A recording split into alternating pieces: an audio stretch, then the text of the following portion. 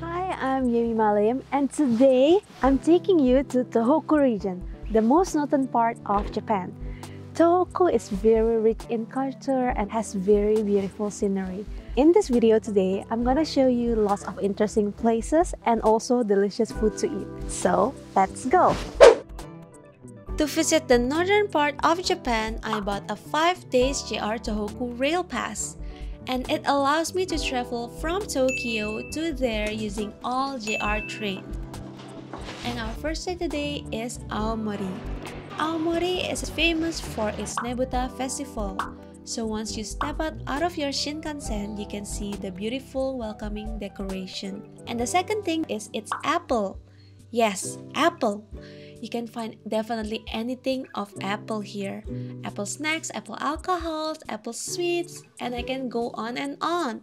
And it is super super good. It's super sweet like a honey. And if you're here also do check out their food court because they also sell the stuff that you cannot find anywhere else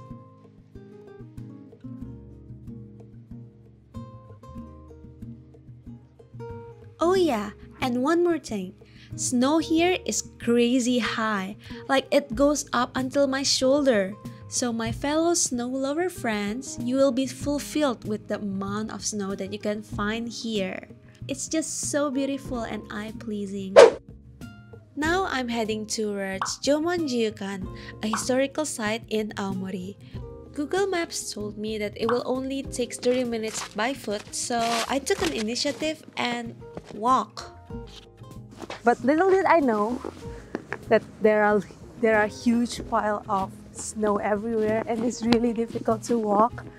From just now I've been looking from left and right and I see no one walking here. And by the way, if you guys are new to snow, I think it's a good idea for you to wear boots or buy the spiky thing for the shoes so that you don't slip. Because I almost fell down like so many times just now. Okay, we have reached our destination and it's time to nom nom! Itadakimasu! This right here is garlic pork sane udon hot pot. Super warm and yummy. This is perfect for the cold weather like right now. It tastes a little bit different than the usual udons, but it's super yummy.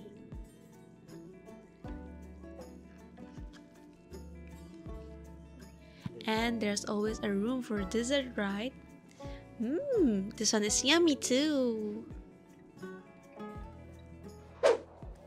So I have filled up my stomach and ready to explore this museum. So after one hour walk, I finally reach here, but it's just snow. You cannot see anything else. It's just snow. If you're into art, especially its history, I'm sure you'll be familiar with this statue.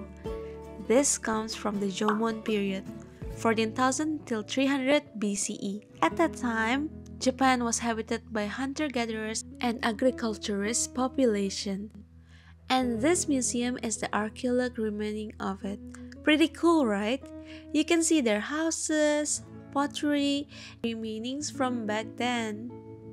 So this is the largest buildings in all of the buildings here and they call it the large pit buildings. It served as a gathering place for the people back then to use. Surprisingly, it was really warm and cozy inside. It doesn't look that warm, but when you were inside there, can feel the warmness.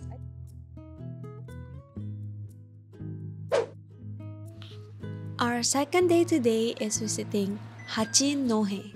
Hachinohe is also actually a part of Aomori, but it is on its coastline. So if you're there, you can check out the beautiful beaches and also shrines.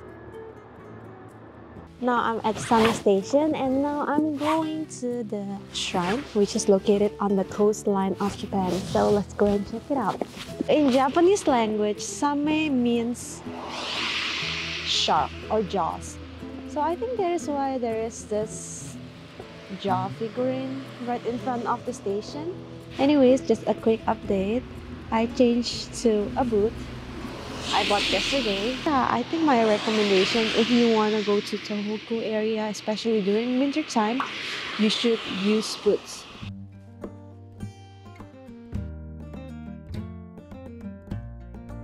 Oh my gosh, you already can start seeing the shrine over there, looking so pretty.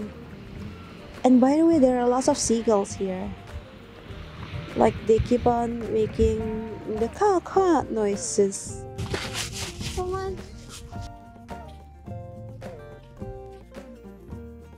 So I have reached the shrine and it is located near the beach. It is one of the most beautiful shrine that I have ever visited. So beautiful here. This beautiful seaside temple is called Kabushima Shrine, and this shrine is popular amongst fishermen and town people, as the word kabu can mean both turnip and stock in Japanese language.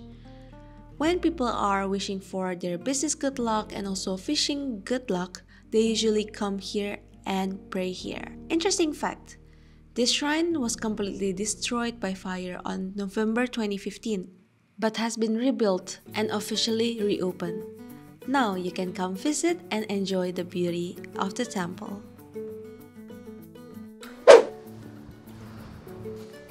So beautiful! One thing that I really like about traveling to destinations like this is that you can find lots of hidden gems. Oh my gosh, I think this is chestnut. Wait. Ooh, oh, it's so prickly. So after the long walk from the shrine just now, we have reached into the Itakomaimai rock over here. It is just so beautiful along the coastline. You can see the beach and you can enjoy the nature. And behind there's a lighthouse, but sadly it's not in operation today. It's already nighttime, that means it's time to eat at a yatai in Hachinohe, there is this place called Yatai Mura. So Yatai in Japanese means stall and Mura means village. So it is a village that has lots and lots of small stores in it. So let's go and check it out.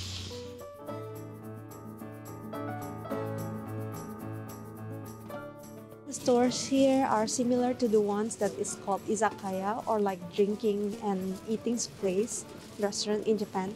So this place opens at 4 p.m. till the morning, 5 o'clock in the morning.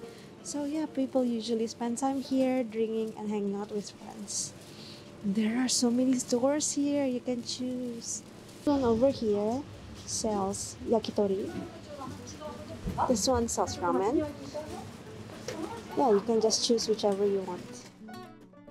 Anyway, thank you guys so much for watching this video up until the end. And I'll see you guys in Tohoku Vlog Part 2.